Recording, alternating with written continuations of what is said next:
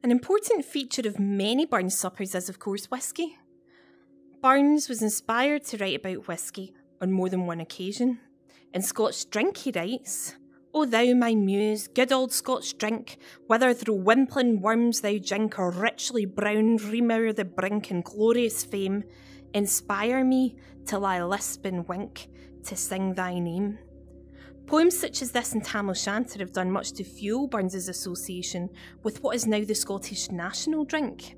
This 19th century Staffordshire whisky jug is from the collection of the National Trust for Scotland's Robert Burns Birthplace Museum, and it's an object that perfectly encompasses Tam O'Shanter from start to finish.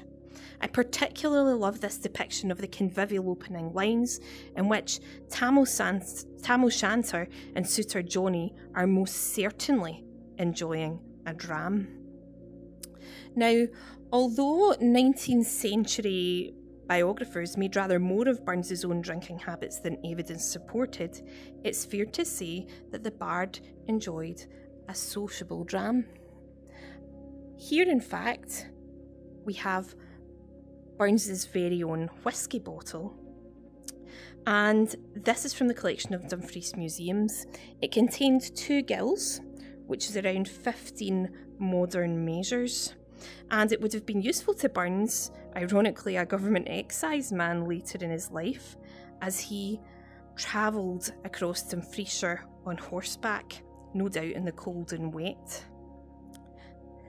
Now, Burns's association with whiskey through poetry.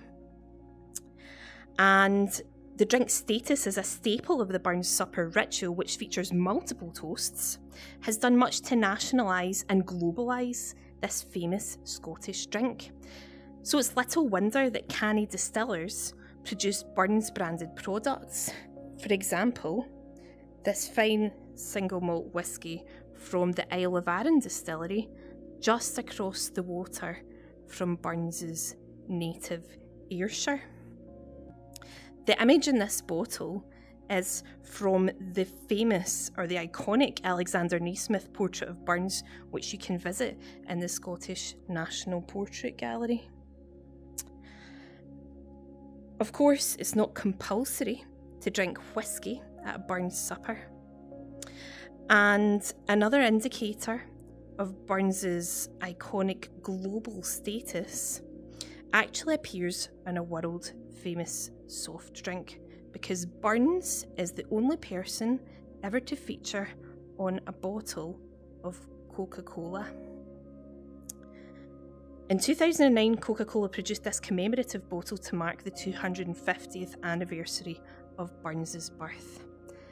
And if that is not an indicator of his iconic global status, I don't know what is.